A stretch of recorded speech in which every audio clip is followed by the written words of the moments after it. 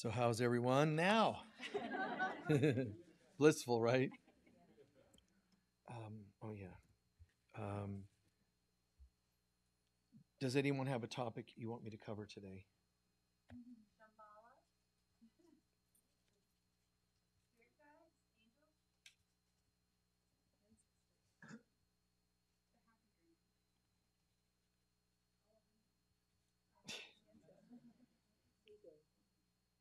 Okay, is that it? Okay, that's good. Thank you. Thank you. Hmm. It's very interesting when we look at life from a higher perspective. Some of the things you're asking about ancestors and Shambhala, angels, and so on. Even though we're on the spiritual path, far too many people still think that this is a linear conversation we're having where there's angels over there and there's deceased loved ones over there and ancient lifetimes. Eh, they're not separate. Everything is within us. So my past lives are part of me. All of my stars when I'm born, the stars, planets, houses, they're all a part of me. My destiny, soul's purpose is a part of me. You've never had a relationship with anybody that wasn't reflecting uh, parts of yourself because there is no other. But that's a little much for the mind to comprehend. So it's okay for us to act like it as though this is real sometimes, you know. It's okay to still put fuel in your car instead of saying, you know, it's an illusion. I don't really need to do that. It, it should just be there. We're all one. So the fuel tank is filled. Uh, the day will come when that will happen. It will. But for now, we play small, unfortunately. But the ancestors that are past, healthy and unhealthy ones, are parts of us. And we can help them heal as we heal ourselves. Believe it or not, as I heal myself, it's not even I have to heal my stuff with my ancestors, the unhealthy ones. As I heal, because I'm genetically encoded to them, it already reaches back, because time's an illusion, it reaches back in time and already changes them. So I don't have to sit and pray that they become better people. I just become one and it'll upload to them and download to your children. And if you have no children, first give thanks. Secondly, sorry, thank your lucky stars. Um, it's not really just about family, uploading this direction, downloading that direction, you know, upstream and downstream we're all connected. So ultimately, it doesn't end just with ancestors, it's actually everyone. The, the return to God will not happen until all souls recognize that there is only God. Right now, it looks like work, and we got to do this, and we got to meditate more. We got to. It's when we choose to see nothing else, there will be only God and then we're home. We think of it linearly, like we're working on it, and some of us are more spiritual than others. You know, religious versus non religion. And then there's religious that become spiritual, and spiritual that become more mystical. You know, it looks like a growth, a movement. But even all of that is, re- you know, it's an illusion. It's really just I'm, you know, allowing myself to awaken. It's not really this book I saw woke me up. And it's not really um, uh, my family did an intervention and got me in the 12 step program. I had to have decided that I'm ready to awaken before I could create them doing an intervention. This is all me. I'm deciding to wake up or to be asleep. It's a bit much for some minds because we, you know, we think linearly. They did or didn't do this or that. They gave me a raise, so now I have more money. They didn't give me a raise, now I don't, but it's they had the power. There's a level of consciousness that we reach where anything that we can imagine becomes instantaneously. I mean, Jesus pulled that off, and, and many great masters throughout history pulled that off. But Jesus is saying, everything I've been able to do, you're going to do. You'll see. And everybody wants to play small. So we like to just take our sweet little time you know, I'm growing spiritually. And you think, well, you know, now I'm getting, I'm meditating more, I'm more balance in my life. And balance is so important. But we sort of think that we're, you know, getting there. And we're forgetting we're already there, dreaming that we're not there. But we're already there. So if we live, because there's a couple ways you can approach life I'm working to get there, or I'm there, and the working to get there is just me catching up to myself. And the one is the faster to recognize you're already there, and the rest is just me kind of moving myself along, as opposed to being at one end, grabbing, clawing, working to get enlightened. God created me in its image. So, what work do I have to do? See? Just own it. Just owning our real, our spiritual selves. Uh, one of you asked about that word acceptance. That's what it's about. It's not, how, how do I own? Well, don't I have to read a certain number of books? Don't I have to meditate and feel certain things before I can call myself spiritually aware? No, it's just acceptance. Now, in you, the back of your mind, run that program like one of those ongoing programs that are running all the time. I'm accepting, I'm accepting. And let the front program be the one that you know, yeah, but I did this wrong today. Yes, but I'm accepting who I really am. But somebody doesn't like me anymore. They've said goodbye to me. Yes, but I'm okay. You see, like it's okay to fore brain in this sense, not literally, but it's okay in the front of your mind you're having doubts and fears. But at the end of the day, can you forgive yourself for those doubts and fears? Those must not be your primary program that runs behind. Let the I am run as that constant program. The rest is just me with my silly human stuff. I am. Feeling kind of hungry for McDonald's this morning. Shh. I am. I am. Nice. Can I get over the fact that I'm all mystical? I went to a spiritual service. We all, you know, felt chills and saw sparkles of light, and I still wanted to get a hamburger after service. Forgive yourself. You know, I mean, that's what it's about because the real you is home but it's dreaming that it's not. So forgive yourself for continuing to dream that we're not holy. On that note, we'll, we'll talk about something else Kundalini, third eye. Let's, let's kind of go in that direction. Now, you hear about Kundalini, and, and people in certain circles are thinking in terms of, you know, hey, I'm going to this workshop. They, they guarantee it in the flyer you're going to definitely raise your kundalini and your third eye will open and all these. Don't go to those workshops. Okay? Because you're just gonna, if if you're lucky, you'll end up a kundalini casualty. Okay? If you're unlucky, you're just gonna be screaming for a refund. Okay? But it's it's not a good thing because there's there's there's a mystic science reality to how these things are done. You don't try to force enlightenment, but that's the, the fast food way that people live on this planet anymore. But the Kundalini, let's get this straight first. The Kundalini rises through you in one of two ways it rises up the center of your being to your crown and open. Okay, that's what it would typically look like or feel like. This, you know, you see uh, pictures and paintings, this idea. You know, you look like a firework, uh, one of those fountains out the top of your head. Wow, you know, blissing out. And there's a second way that the Kundalini rises, which is up the fountain and then to the forehead, up and over. That's why the pharaohs wore the headdresses with the serpent here.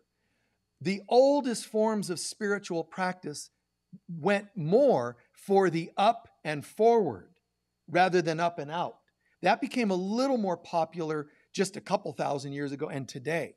And all your paintings, it just looks so perfect. The other is about awakening that crown. With the crown and third eye work well together, they work co- cohesively.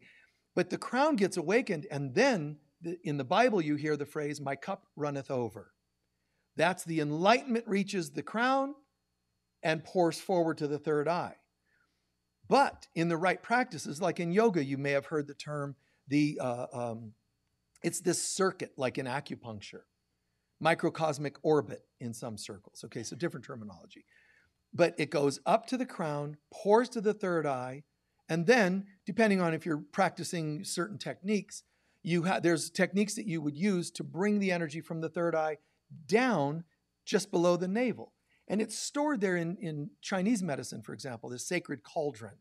And it's stored here, just in the navel center, which is really strange because Edgar Cayce used to recommend castor oil packs on the body. And he said, put them on the, below the navel. Why? Because this feeds the whole body. You can put these healing castor oil, which is the Latin name Palma Christi, which means the palm of Christ. So castor oil is the strongest, most powerful plant. I'm not comparing it to flower essences, plant. It's the strongest plant. Its Latin name is the palm of Christ. Powerful stuff. So, and you, I'm not talking about ingesting it, I'm talking about its use on the body. So you do a, a heated pad and a castor on the tummy, and it feeds the whole body. You know, so Cayce was onto that. But all these ancient practices understood it's here. Now, if a person is is doing things like in Taoism and in Tantra and other schools, schools of thought, they understand that if you get stimulated and you expend your energy pelvically, you've actually taken your store your storehouse of energy and you've wasted it. It's better to take that energy down for the, you know, um, then to the tailbone and up the tailbone through the spine to the crown and then to the third eye and then certain techniques which i'm not going to go into down to the navel again. And you fed it. You you actually charged yourself and do that as many times as you like so that you're building and building so even sensual experiences are turned into this development of more chi through the body and every time that energy moves through the spine, it's feeding all the nerves, which go to the organs and the glands. So you're, you're becoming more awake. However, we're told in the book of Revelation that there's only one being it's the mother, the Holy Spirit or the Christ, that is worthy to open the channels, to open the chakras.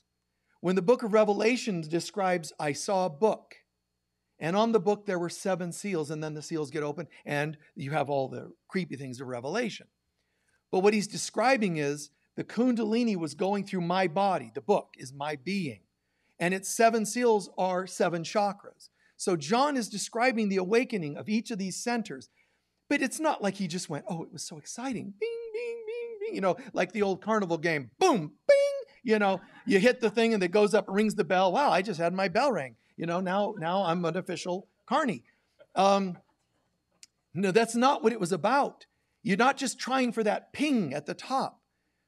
It's as I empty my old self, what happens is these center channels, there's the Sushumna center, and then there's Ida and Pingala. So that's the masculine and feminine serpentine up the center, which I call the Christ channel or the central channel.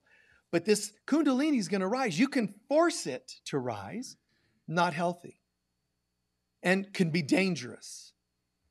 Or you can understand when I empty myself, when I empty my ego and my old patterns, this thing that is symbolic of me becomes empty. And then what happens is the Kundalini Shakti energy that's sleeping at the base of the spine awakens because it's not saying, well, I might as well sleep because you don't listen to me anyway. So it just sleeps. But when you empty yourself, she says, Whoa, what's happening? Nothing. I've emptied my opinions and judgments of the world and people and myself. Wow. So she starts moving up and activating the two channels, the masculine and feminine channels of Ida and Pingal. But she starts rising. Now, the good news is She's rising, but what's she? She's me. She's the spirit of the Holy Spirit or the Spirit of God within me. And she's rising. She, the feminine, is rising to meet he, the masculine. And then I have this alchemical fusion potentially. It's going to be great news. The bad news is while she's rising, anything that is unlike her purity gets burned. And so it might be like, God, I don't know why, but I've been getting this burning sensation in my back, or I'm starting to feel these strange uh, symptoms, you know, of what's going on. And people don't realize that some of their physical symptoms are actually this awakening process. You go to a doctor and, you know, they medicate it, and it's just so strange. One of my favorite quotes, I think, of all time, Voltaire, which I'm altering just slightly, but Voltaire, great mystic, And he said, you know, doctors prescribe medicines of which they know very little for, you know, bodies of which they know even less, for diseases they know nothing about. It's like they're, so clueless. No offense if you're a doctor. because if you get a broken bone, go and see a doctor. If you, you know, but I'm saying it's a sad thing that people don't know mystic symptomology. Only linear body symptoms, and of which they know very little compared to what they will someday soon. So this Kundalini is rising. So my emptying myself actually creates what's called a vacuum in the Kundalini channels. A vacuum. When that vacuum is, let's, let's call it complete or, or activated, the Kundalini will rise. So it starts moving through and it can create anything from odd little symptoms to major symptoms, major responses in the body. It could be, um, you know, movements, spontaneous movements, rocking or spiraling or channeling words, light language. I'll get into the symptoms in just a sec, but all kinds of things can happen. Physical sensations, but also some uncomfortable ones, burning, aching, you know, and why?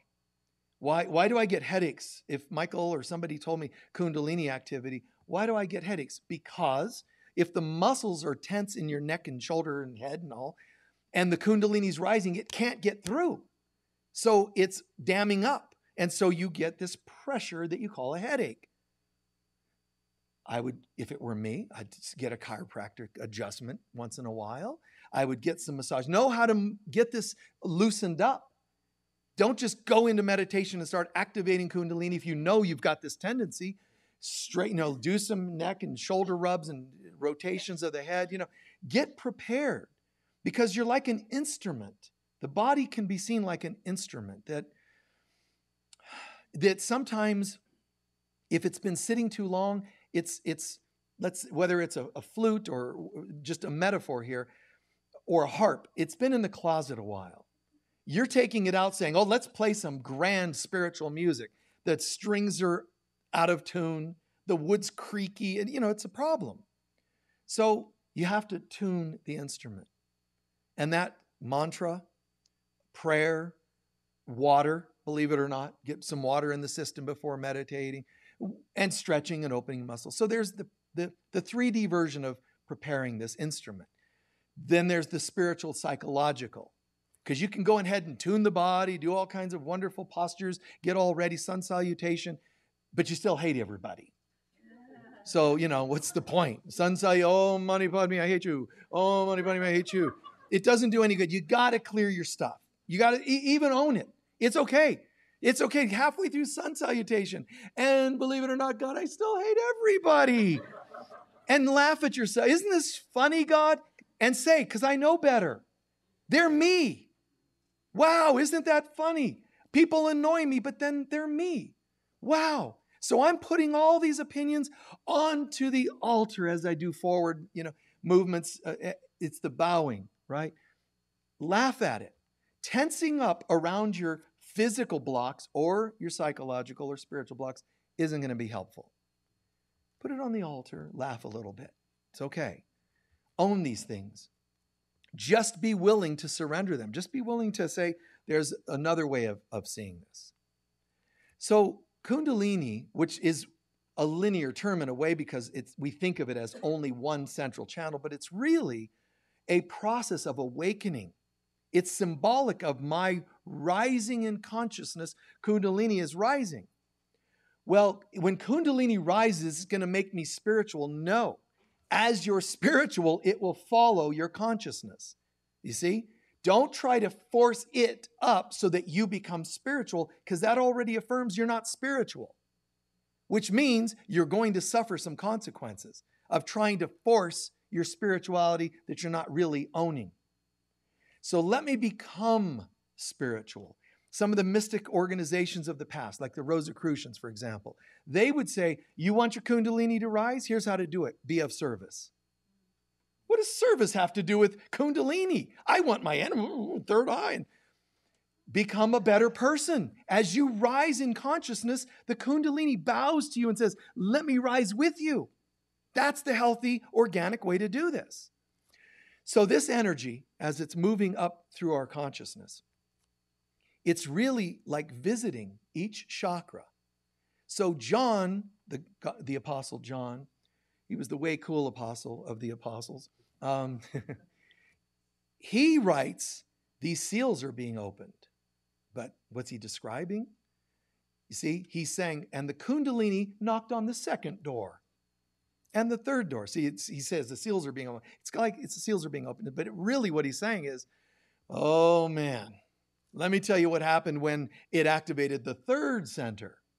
And the fourth, because what you're finding is all the critters that you allowed to live inside the flute when it was stored away in your attic for years. You play that flute and it's all this dust comes blowing out. That's the chakras being opened. Oh, I can't wait for my chakras to be open. Watch what you pray for. Because anything that's unhealed in these centers, when the Kundalini hits them, they're coming out. So the book of Revelation says, Who's worthy to open the seals? If I were you, I would say, Not me. I'm going to ask the mother of God, the, the mother aspect of God, the Holy Spirit, to guide me through this. Okay?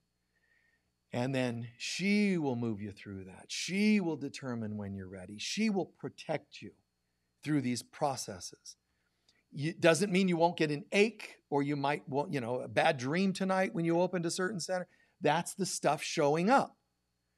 If you can't stand the idea of these things showing up, because the world is now entering a global dark night of the soul. It's already in it, but we're moving through that. So the whole world is now going to go through what John described in Revelation, which is not bad news. We are awakening. So watch this. I love these things because they come, you know, as I'm speaking, I'm going, ooh, good one. So when people are going, oh, hello, beloveds, we're all moving into the fifth dimension, I just smile inside because they're, they're just like the Kundalini people that are like, I'm, I'm raising my Kundalini. I went to a workshop. Today I'm going to go and pay $99.99 for Kundalini awakening. I'm sorry for you. Because it's just like the people going, We're ascending. Ooh, I'm sorry to hear that. That's kind of my internal response. Because with the ascension has to go all else that's not very ascended. If you got jealousies, they're going to have to show up.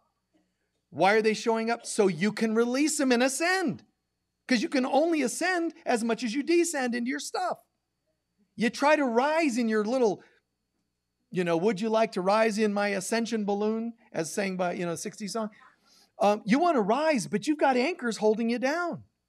So you've got to own them. You got to cut the ropes to those anchors. Here's an old relationship thing that I'm still holding on. Cut. And you rise a little. Here's some stuff that I really judge myself a lot. Cut. And she, the mother, is going to show you those things. You know, here, honey.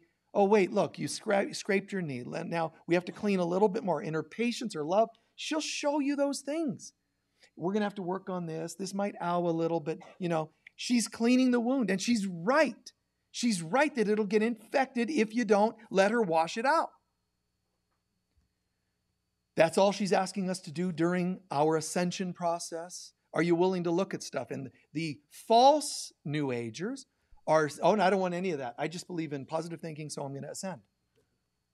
Eh, eh, you know what? I mean, I, I really wish that that were true, that we could all just ohm ourselves into enlightenment and never have to look at our stuff. But, you know, inside of that word ohm is also, oh my God. You know so it's not just om and you go home. It's it's om yes and you chant the om and stuff will arise at times. You're doing nothing but om it should be very peaceful but you notice an ache so stretch a little.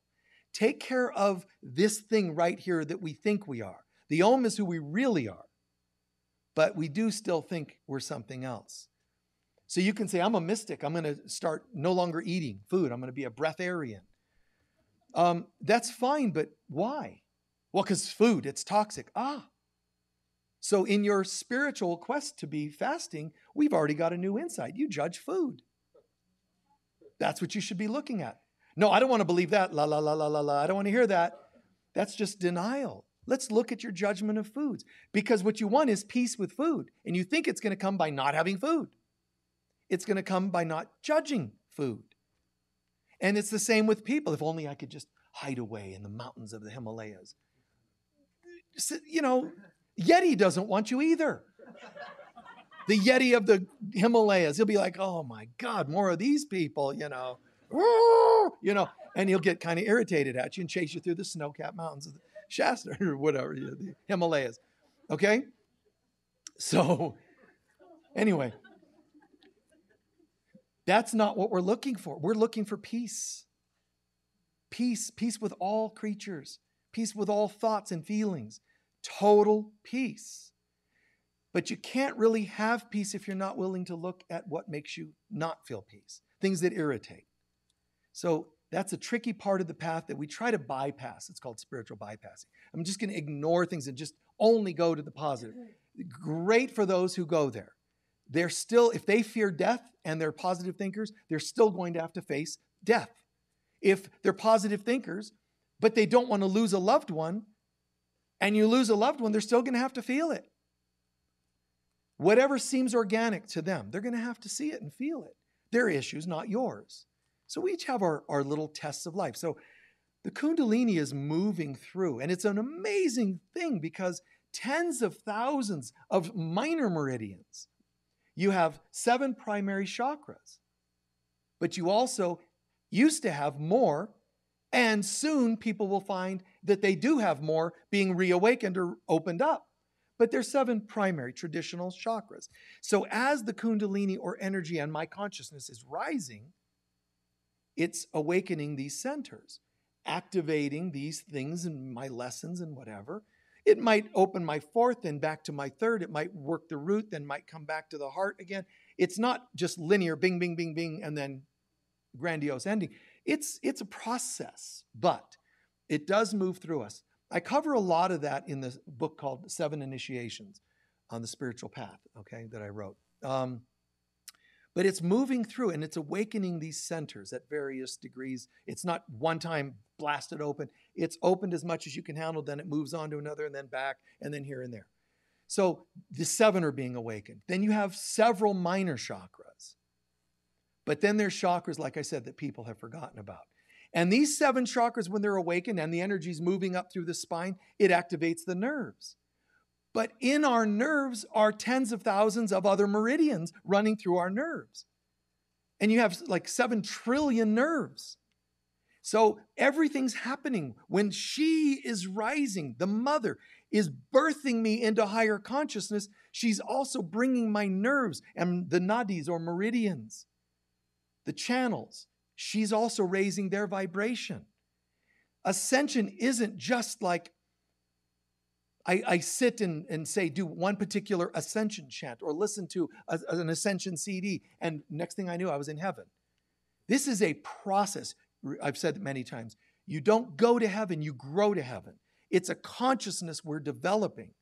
And with it, because I'm a holistic being, as I'm growing, there's stuff happening. Chakras opening, bringing up stuff. Meridians are being activated. Nerves can be healed if I channel this energy properly, it goes up the center, feeds the central nervous system, feeds all my nerve endings, feeding my glands, feeding my organs.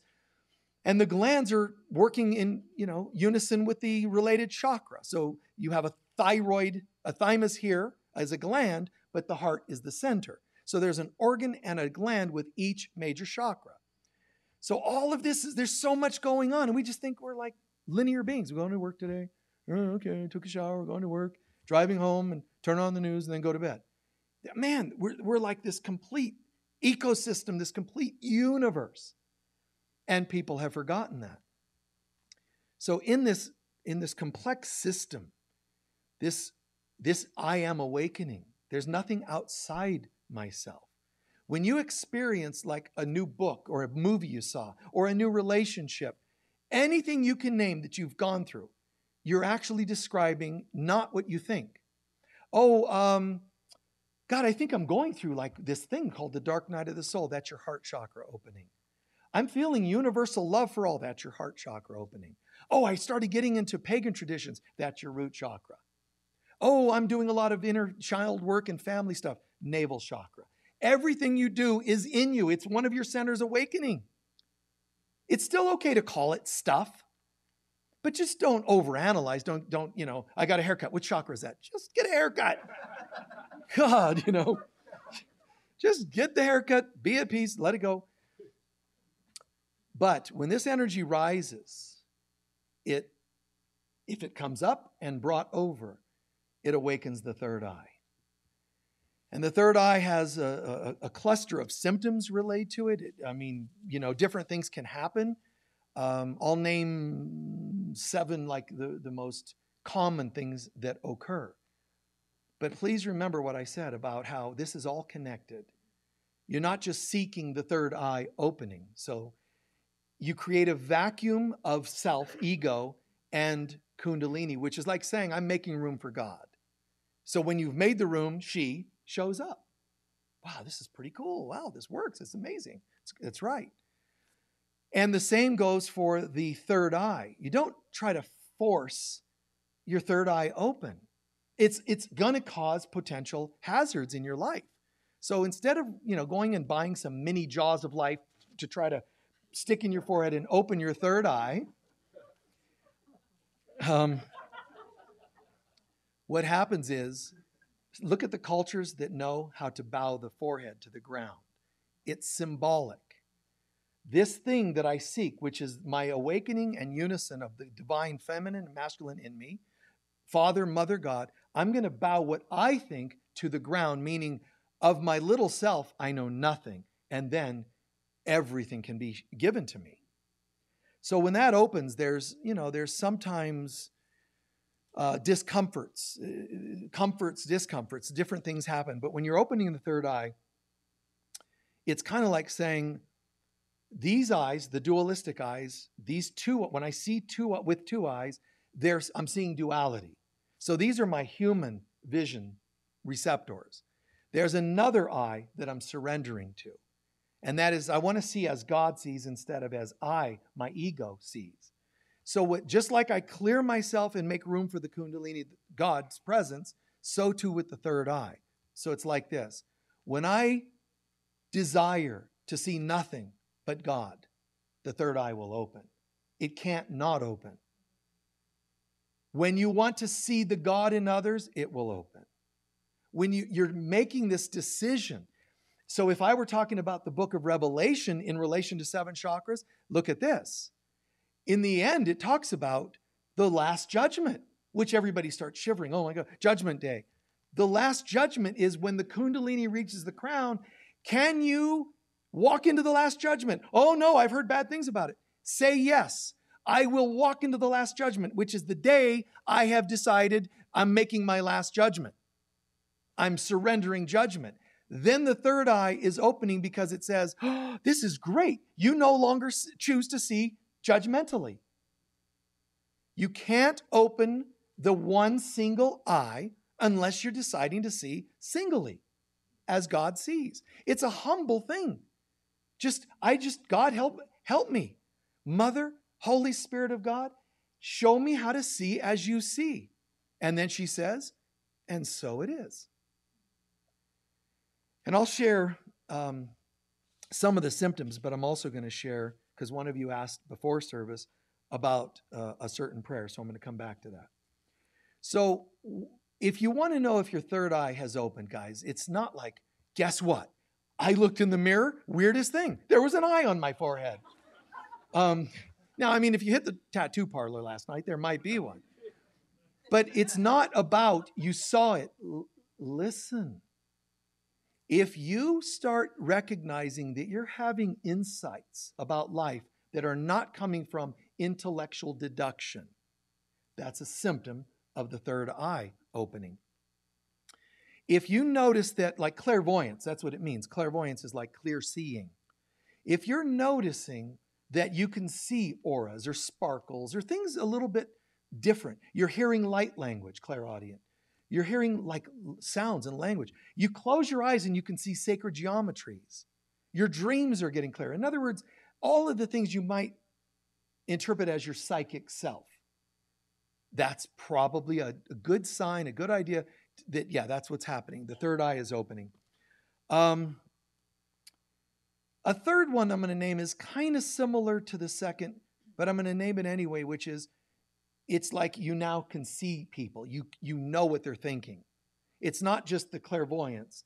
It's you kind of feel more bonded mind to mind with people.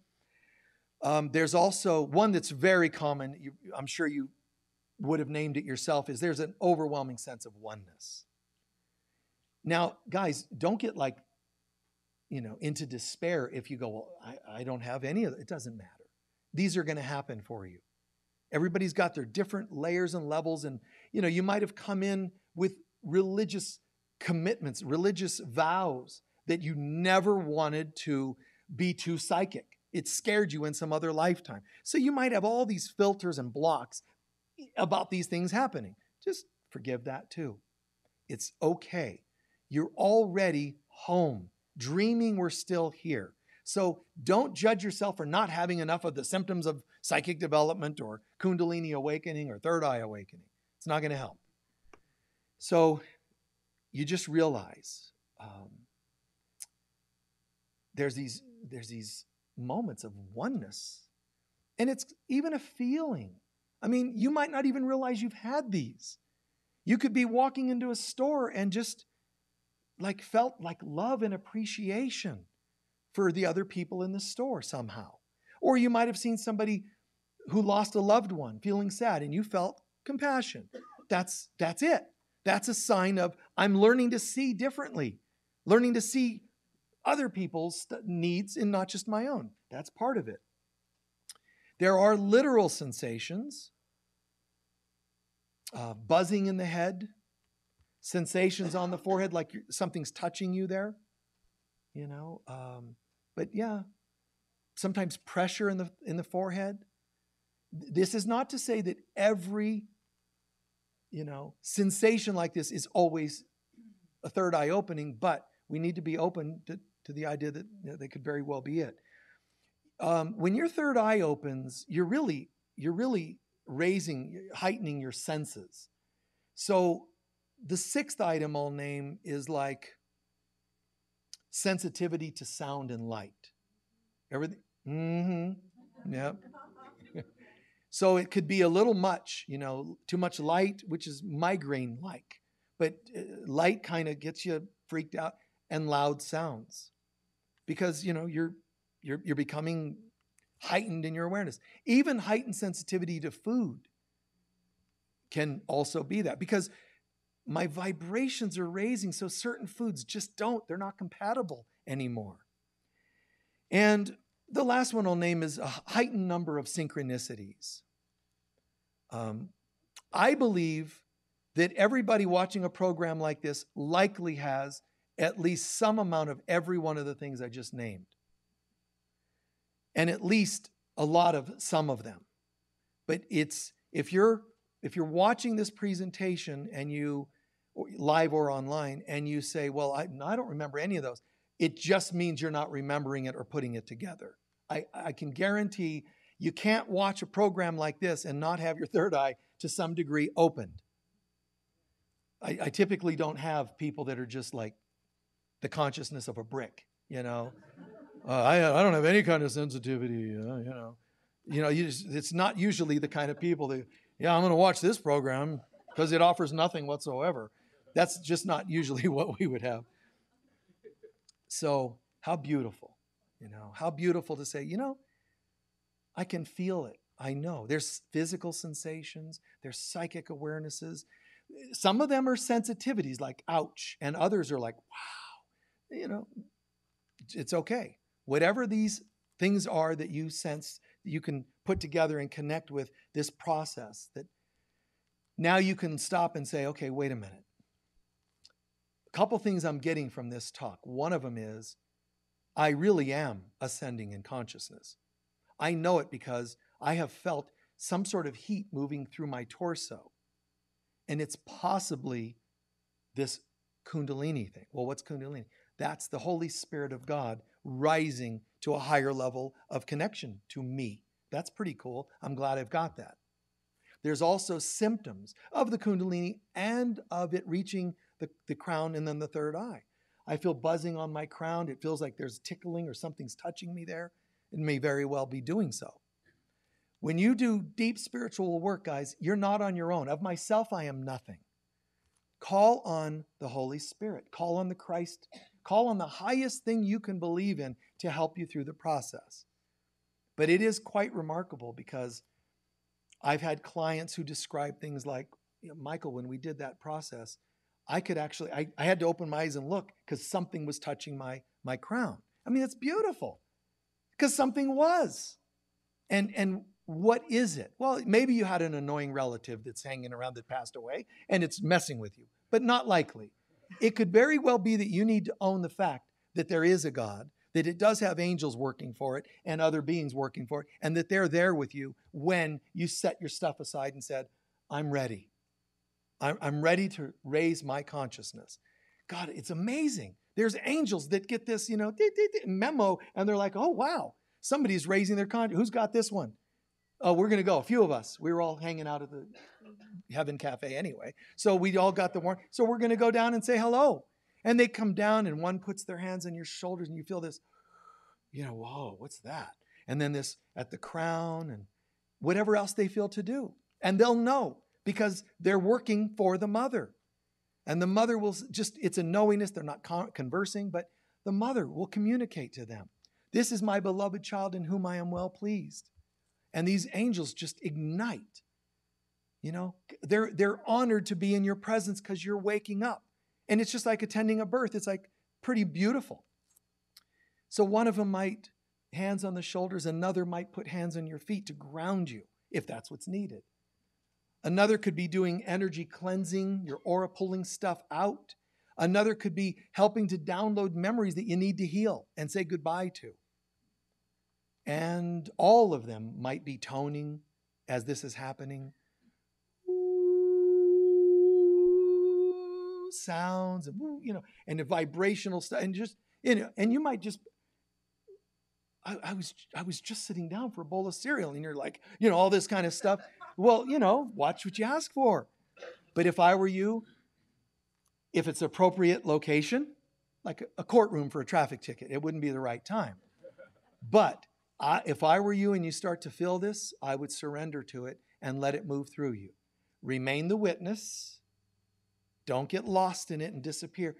Keep your feet grounded, you know, remain the witness. As long as you can see what's happening, if you start to lose that, you might want to come back to your body and make sure you're grounded. That's just a good, safe thing to do sometimes. But I would surrender it. If you start shaking, just let go and let it happen even more. Don't force it or make it, just surrender to it so more of that energy healing can process. You have free will and you're allowed to say it's getting scary and reground yourself, and they will honor that if they're beings of light. Okay. I want to move into um, the 23rd Psalm. You're familiar with it. Everybody knows the words for the most part. You've, you've at least heard them, but I'm just going to say it once, and then we're going to go into a, a brief meditation. The Lord is my shepherd, I shall not want. You, God, you lead me down into green pastures. You lead me beside still waters. You restore my soul and lead me in paths of righteousness for your name's sake. Even though I walk through the valley of the shadow of death, I will fear no evil because you are with me. Your rod and staff, they comfort me. You prepare a table before me in the presence of my enemies. You anoint my head with oil. My cup overflows. Now, surely goodness and mercy will follow me all through my days, and I shall dwell in the kingdom of God forever. With that slow, relaxed breathing, and we call upon the Holy Spirit. Holy Spirit, Mother, aspect of God, I, your holy child, the Christ self, come to you to experience this process of clearing and awakening. I come to you to experience this process.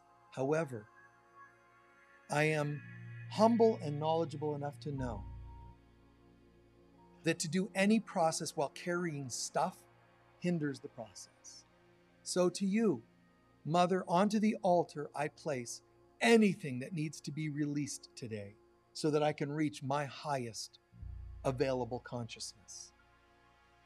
I place on the altar, and everybody just allow her to help you recognize something spontaneous. It could be something you didn't think was an issue a bill you can't pay, hurts from the past, major issues, a minor annoyances, whatever it is, any and all of them.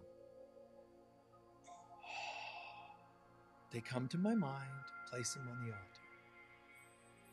Empty. Another one comes to mind, possibly, place it on the altar, come back to emptiness.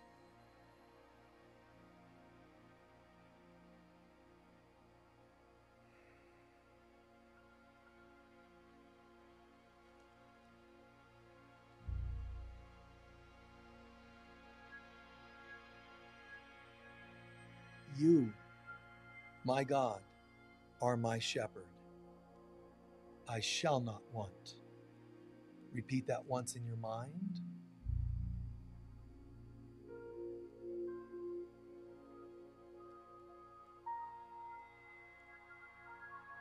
And then add this, not in words, just in awareness.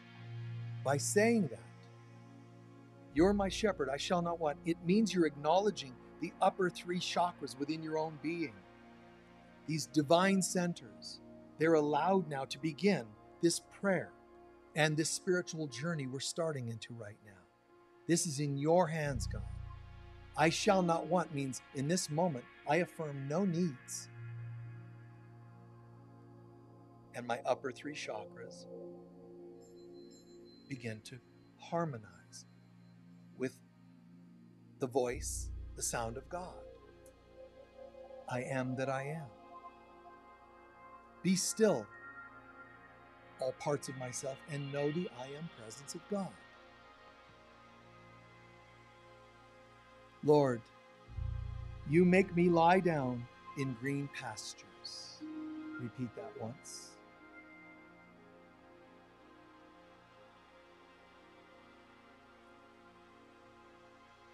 And then understand what it means is the you that was a moment ago in God that says, The Lord is my shepherd, I shall not want, it's now saying to you, I'm going to make you lie down in green pastures. It means God is sending you down to your root chakra. Green pastures, earth. I'm sending you to the earth. I'm here, I'm here fully, with no judgments of my material self. This is my health, prosperity, vitality, and I'm here, you guiding me.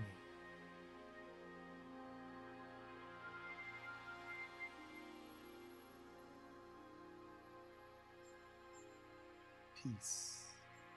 You lead me beside still waters. I now move up to the water emotional chakra. We'll call it the navel today. You lead me beside the still waters. The reason it's called still waters is because they're calm. The emotions are being told. Calm, peace, the presence of God.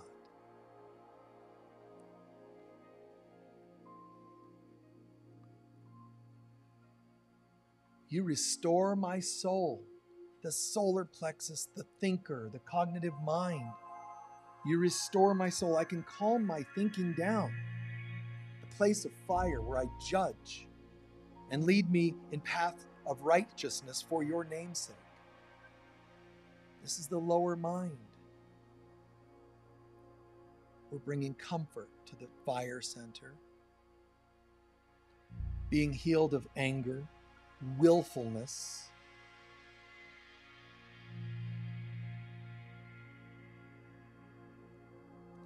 And in this center,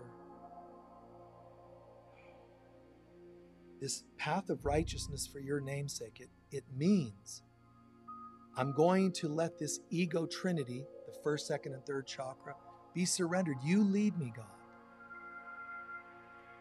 You lead me. Even though I walk through the valley of the shadow of death, I will not be afraid. This is the heart chakra.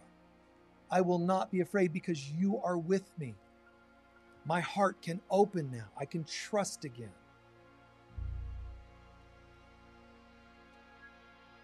You are with me.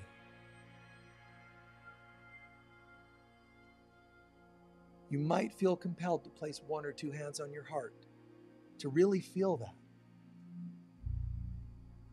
Even though I walk through the valley of the shadow of death, I will fear no evil because you're with me. This means I'm walking through life. There is stuff in this world, dark night of the soul, frightening moments, thoughts, insights, past lives, stuff. I will not live in fear. Fear in my heart, no, because you're with me.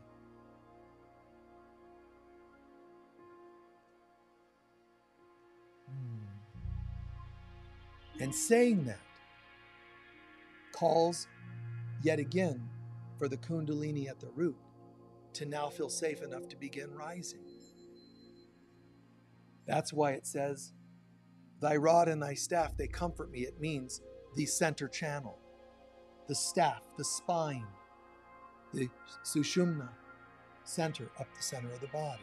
That is the light of God, the rod of God.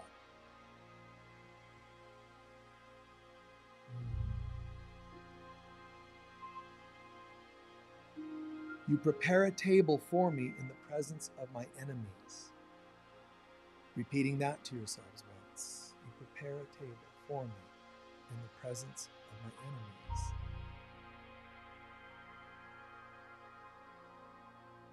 Prepare a table, it's like a feast. And why is it referring to a table and a feast? Because it's now your throat chakra, your mouth, where you would eat.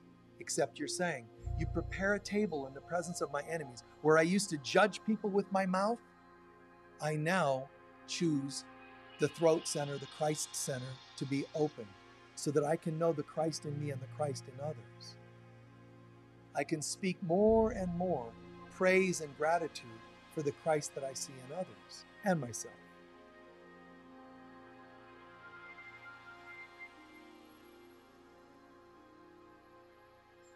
And it rises to the crown. You anoint my head with oil. The crown.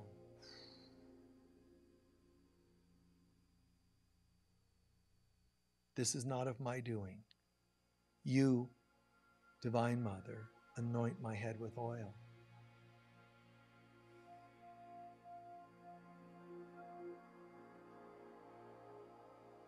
My cup runneth over and it pours to the third eye.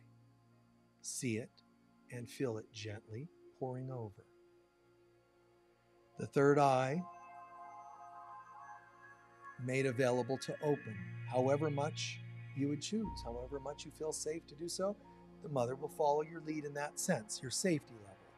But can we just surrender to her and let her pour forward to the third eye? And it opens.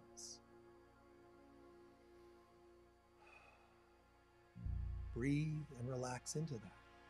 This is the two petaled lotus, where all the others, four petals and eight petals, thousand petals, two petals only, the third eye. But one represents the right lobe of your brain, one the left. So in this process, even the brain is made harmonious. My masculine and feminine self brought to peace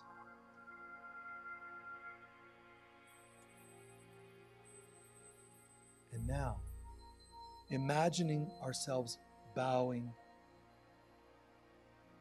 in humility, the forehead,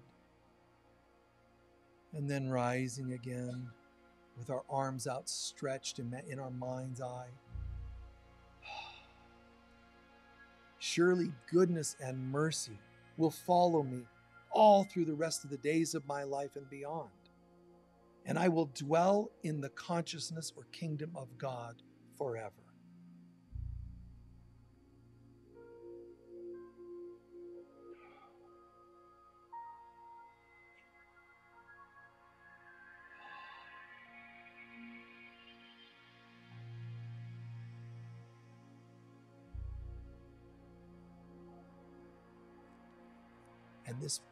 Beautiful pouring down the front of the body to the navel center with each exhale for the next couple of breaths is just this acknowledgement I have, in this moment, risen to a new level of consciousness, but that new level of consciousness is going to pour down the front back to my navel center because it's affirming that I'm going to take higher consciousness down into my day to day life. I will dwell in the house of the Lord does not mean I will hover only up in my crown chakra and be ungrounded. We still bring it back to the earth plane because that's where we where we know to be of service to others. That's where it all comes back around again.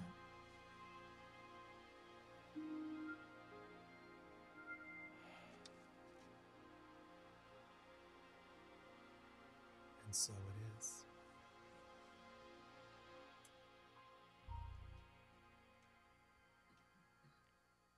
You very slowly relax and stretch out a bit.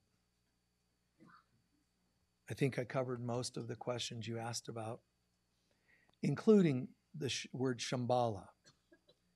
When people talked about journeying north to Shambhala, guys, it was always symbolic of the journey inside to Shambhala in the north. And people thought, some people thought, it's a mountain, a mountain, high mountain region somewhere north in the north hemisphere of the planet. Well, wait, it's symbolic. Higher is in you, north is in you, right? The snow capped mountains, even, no problem.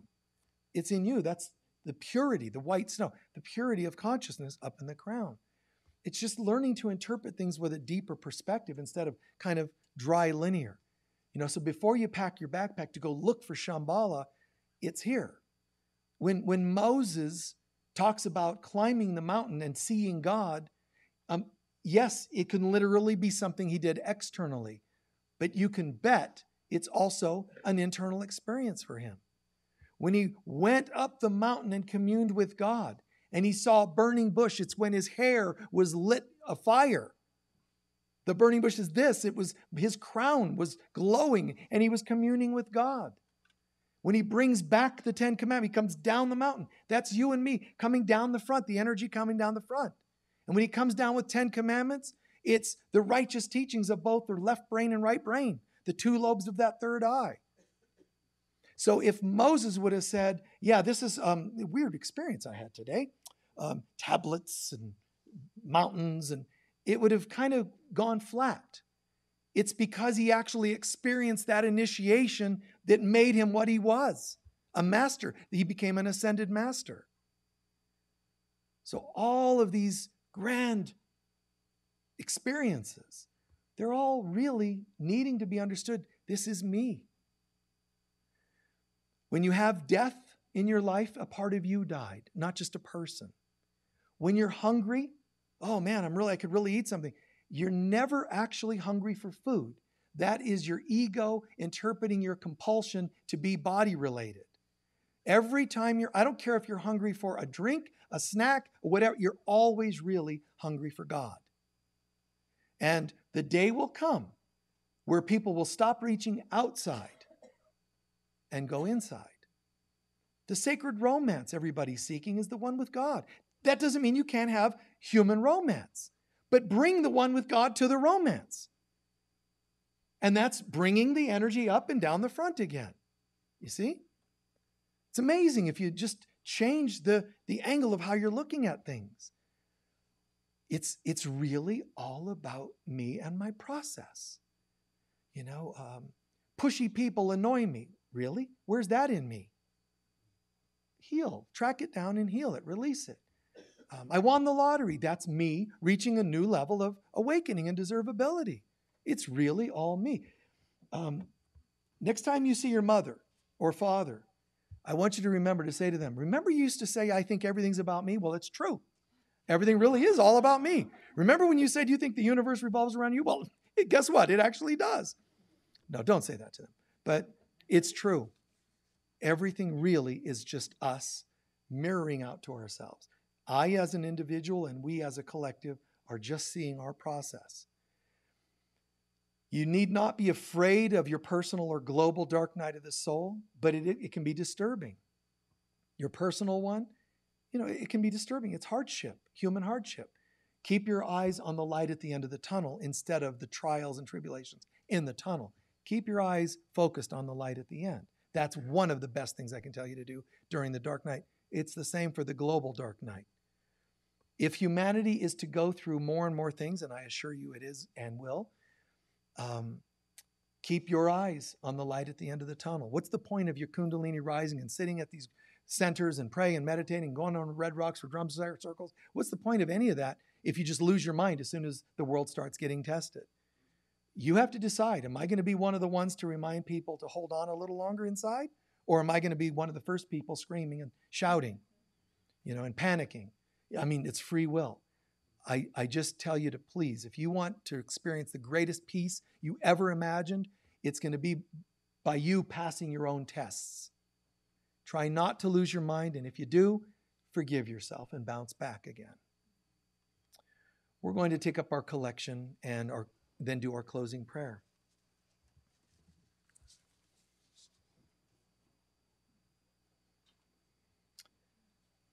Please, please, please be as generous as you can be.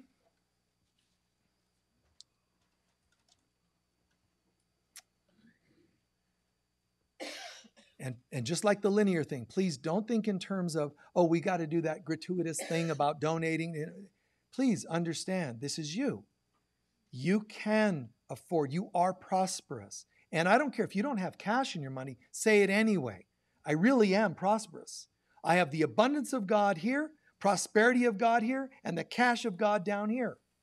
I'm fully prosperous. You can afford to give, and let's create a more abundant life for yourself. So you take your love offerings online, there's a button you can click to make donations. Hold that to your open, open hearts. Repeat with me, please. Divine love flowing through me blesses and multiplies all that I am, all that I have, all that I give. And so it is. Beautiful. Thank you while they're passing those around, can anyone share what you learned or heard today that made the most sense? What you learned or heard today that's helpful to you or that might end up being helpful to other people you work with or encounter? What did you hear today? Yes? We're already home. Yeah. How to approach life as though you're needing to go somewhere or as though you're there and just needing to catch up with yourself. Beautiful. Glad you liked it. Anyone else? And the meditation. Did anybody, uh, did you do well with the meditation? Do you get that that prayer was all about this? Seriously. My cup runneth over. It's not like some superstitious thing or some poetic thing. He was describing when you're walking with me beside still waters, he's describing you and me walking through our initiations of life. And that when I really get there, wow, I'm going to really go through a lot of fear before I reach enlightenment, facing my stuff. But I need not fear because God's with me. Right on. Then anoint my head with oil, the, the feast, the anoint my head with oil, my cup runneth over. And then here's my new life. Because I've risen in consciousness, I have a new life. So he says, and you will, you know, I will dwell in the house of God. It's not you're going to go to heaven someday.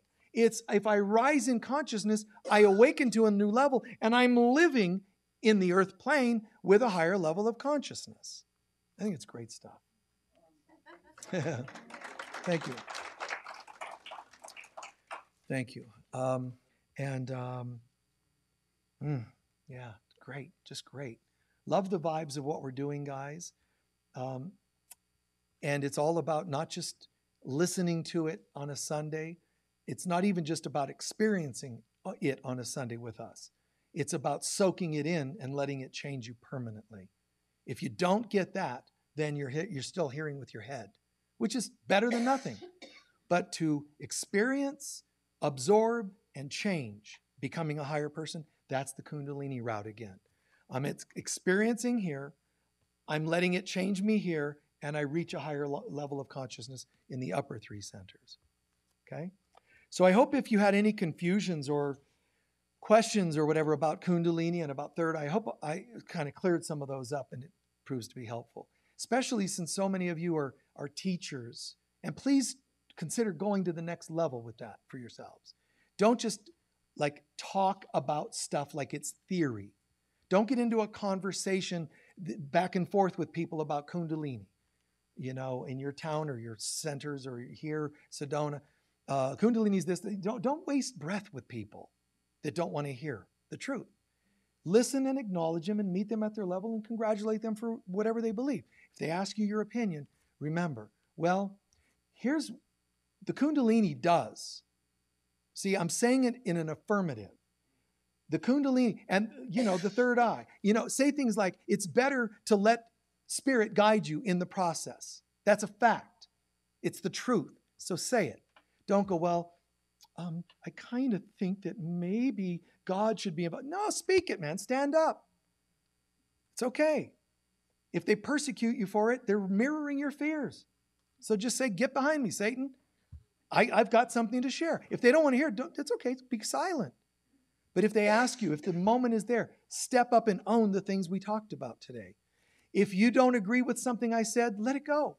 But if you agree, it's yours. It's not, don't quote Michael in the grocery store. Well, there's this guy who said, own it. You be those teachers. The world's going to need a lot more teachers in these coming days. Don't be afraid, man, because it's your real self that I'm talking to. I'm not telling you, I'm not telling your ego, you know, yeah, okay. If you come from your ego, then you should be afraid because that's all the ego is, is fear. So don't come from the ego, come from your light. This is you. I'm talking to you right now, and yet I'm part of you.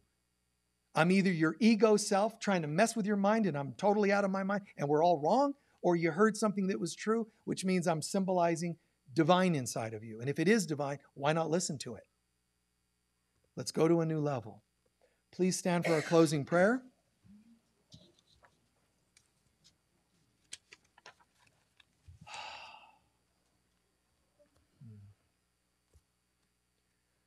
gratitude, feeling such immense gratitude. Oh, grateful for the sharing today, for the group of souls. Lots of love and light in the eyes of each other. Look, man, how beautiful. Really feeling grateful for our beloved musician, Jai Lakshmi, for being with us. Oh, and remember, generosity. Generosity a dollar, a thousand dollars, whatever. Leave with her at her table in the foyer. You can buy CDs of hers. They're fabulous, right? They're fabulous. Great music, as you heard. And the songs vary. They're not all one style. They're varied. So ask her what's on each one. But also open your heart, offer a donation because we love to see abundance for everyone here. The light of God surrounds us. The love of God enfolds us. The power of God protects us. And the presence of God watches over us. Wherever we go, God is. I am. We are. And so it is. Peace be with you all. We'll see you.